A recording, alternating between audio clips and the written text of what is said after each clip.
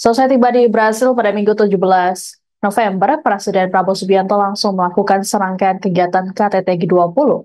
Satu di antaranya adalah pertemuan bilateral dengan Sekretaris Jenderal PBB Antonio Guterres di Rio de Janeiro. Dalam pertemuan ini, Presiden Prabowo menyampaikan apresiasi atas dedikasi Guterres dalam mendukung perdamaian dan keadilan internasional utamanya mengenai masalah Palestina.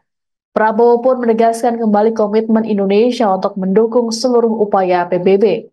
Terkait komitmen tersebut, Prabowo menyatakan siap memberikan dukungan berupa pasukan penjaga perdamaian di wilayah yang dibutuhkan. Selain soal perdamaian, Prabowo juga menyoroti sikap Guterres yang konsisten soal perubahan iklim global. Menurut Prabowo, dirinya akan menargetkan sepenuhnya penggunaan energi terbarukan dan ramah lingkungan di masa pemerintahannya. Dikatakan oleh Prabowo, Indonesia bisa saja lebih cepat dalam mendorong transisi ke energi non-fosil, utamanya biofuel, seperti dengan penggunaan minyak sawit. Namun ia mengakui bahwa hal tersebut belum banyak dilirik karena biaya ekonominya masih belum menarik.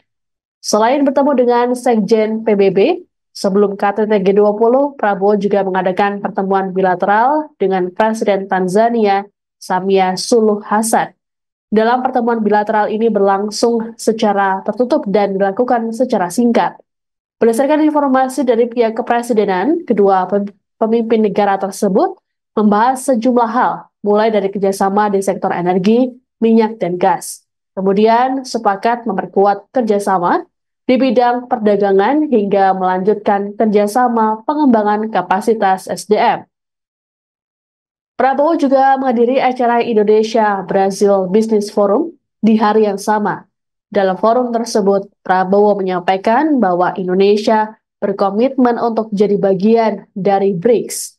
Hal ini jadi strategi untuk memperkuat perekonomian nasional Adapun sehari setelah pelantikan kabinet pada Oktober lalu, Prabowo telah mengutus Menteri Luar Negeri Sugiono untuk menghadiri KTT BRICS di Kazan, Rusia. Menurut Presiden, Indonesia dan Brasil memiliki banyak kesamaan, di antaranya sumber daya alam hingga kesamaan di sektor energi. Sebelum bertolak ke Rio de Janeiro, Presiden Prabowo dan rombongan telah menyelesaikan agenda di Cina, Amerika Serikat, dan KTT APEC di Peru. Prabowo bertolak ke Brazil melalui Bandara Internasional Jorge Chavez, Lima, Peru.